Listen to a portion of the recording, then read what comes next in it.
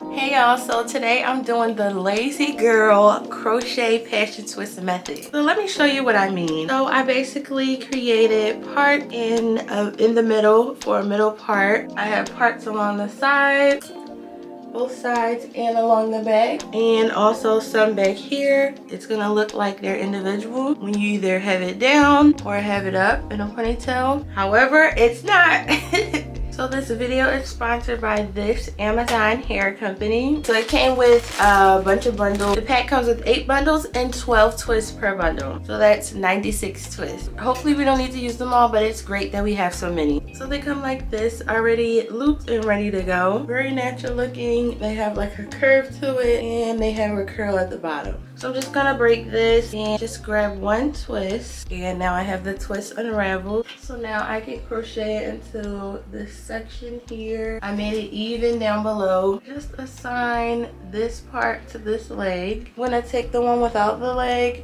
and wrap it around the root at first. Wrap it just like once or twice so that it's tight. And then I'm just gonna regularly twist it down. All right, so it looks good. Looks like it fit in really well. So I was thinking while I was twisting, I was like, like this is actually not a lazy method so what i'm gonna do actually now i was thinking of just feeding in these sections into the braids and then crocheting on here so what I want to do is start with these, I guess. And I'm just going to grab a braid. Every time I grab some hair, I'm going to grab a tiny braid.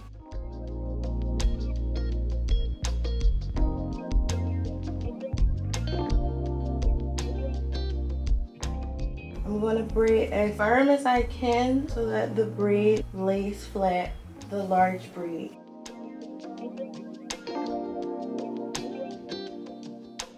So from the front, it's flat. So when I crochet on the twist, I won't have any problems. I'm gonna try to keep that same thing going for the back of my head, braiding firmly. If I see any bumps, I'm gonna flatten it.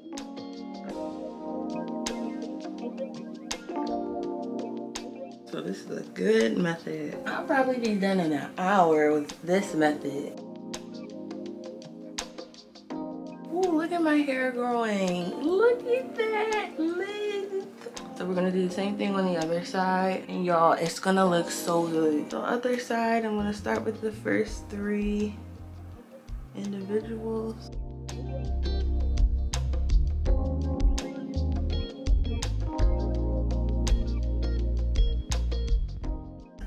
Harder for me to braid on this side tight. I don't know why. Trying to keep it tight, close to the... I'm gonna keep this one out. Ooh, I got it close to the scalp so it looks flat from the front. So that's what I mean. I just want to make sure it looks flat.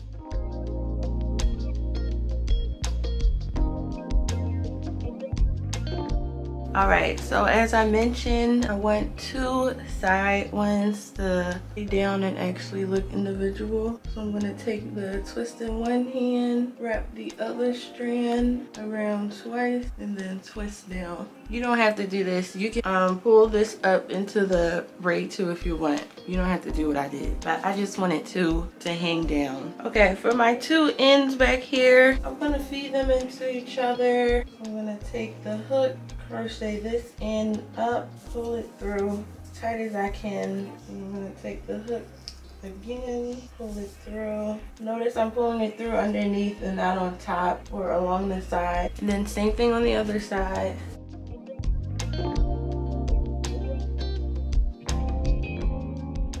So now we have the real Lazy Girl foundation. Now it's time to crochet. So I'm going to crochet the perimeter first just to make sure the perimeter is covered. So you have to be strategic with crochet so that you don't run out of the hair you have. You can easily run out by focusing on the wrong sections of the hair. So as you can see, we are rolling through the perimeter. Hold up. If you feel like your twist got like tangled, don't get it even more tangled, just let it go, redo it. So you pull it through the base, put your hook all the way through the loop, bring that in through the loop, and then pull it tight. Look at that, we have two on already, and they're like really long. They're not really long, but they're long. You know how long twists take to twist.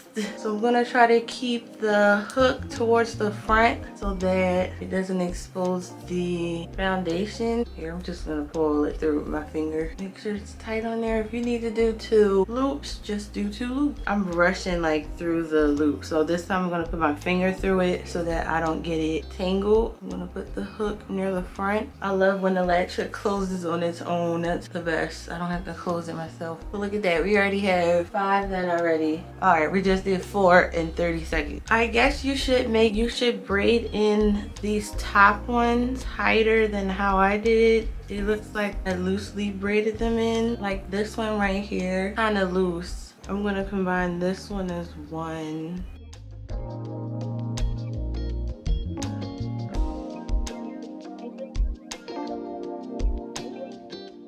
Now I'm gonna go up the middle. I'm gonna lean it towards the middle here.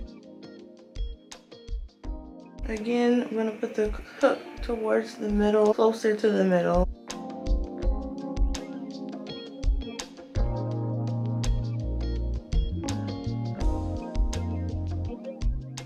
So that was one pack. Now I'm working on the second pack. Look at how quick that was. Okay, so I'm done all the individual sections. So now I'm just gonna fill in the middle. I'm gonna fill in this side first. Okay, so I put them to the side and just crochet on this whole section.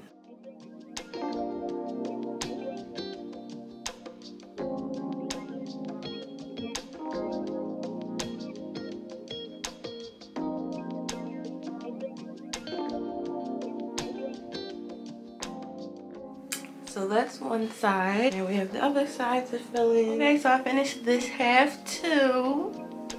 So now all that's left is the back. The back.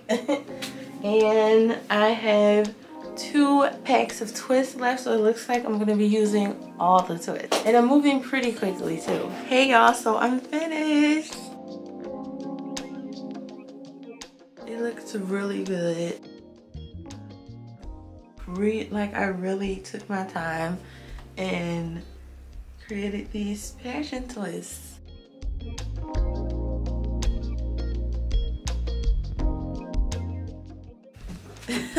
I love them. Let me take out these two on the side. Okay, so I'm gonna take those two out. I'm gonna use like this twist and this twist and tie them in the back. And this is the hairstyle, so pretty. Let me put it up in a ponytail. Okay, so I put it up into a ponytail in the back. And this is how we're looking. They're so cute. I love it. It's definitely the lazy girl the lazy girl crochet method and I love it. So pretty. So overall, it didn't take that long to install the twist. I just had to do my individuals along the part if I want a part and along my perimeter in the back. And the twists are really soft. They're nicely twisted and they're easy to untwist if you want to just use them to create individual twists like I did. You can do that as well, but they're, they're like easy to take out if you want to do that. So yeah, I just love that my hair is up, that my hair is protected underneath and I love that this hairstyle looks like I took the time to create these passion twists. So I really like it. I hope you guys enjoyed this video. Thank you Leonyeri for sponsoring this video. Thumbs up this video if it was helpful. Check out more videos like this on my channel and I'll see you guys on the next one.